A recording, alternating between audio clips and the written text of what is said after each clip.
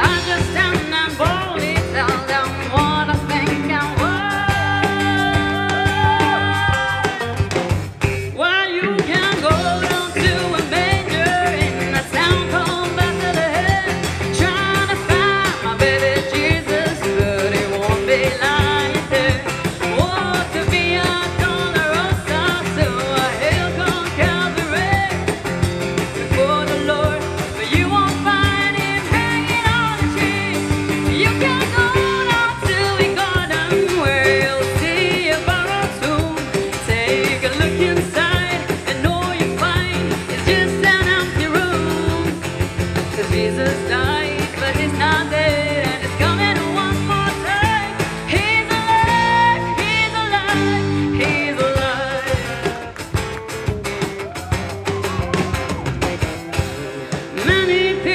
share opinions about the life of Christ.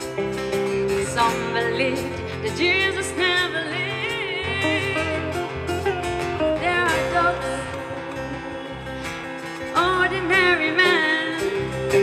Now they say that he was just a myth. Well, I don't care, just like.